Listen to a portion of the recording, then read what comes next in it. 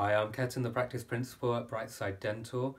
We ask for feedback from all of our patients at the end of their appointments to see how we're performing and also if there are ways we uh, could have done better with their um, visit with us. We do this by asking them to fill out a short form like this, um, which has some simple questions on it, and I'm pleased to announce the results for the month of January. During the course of the month, we had uh, 766 forms completed by our patients. The first question we ask is whether all team members were friendly and helpful, and for that we've scored a five star rating of 95%.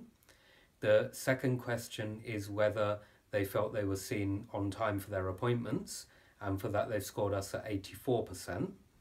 The third question we ask is whether treatment was completely painless, and for that we've been scored 82%.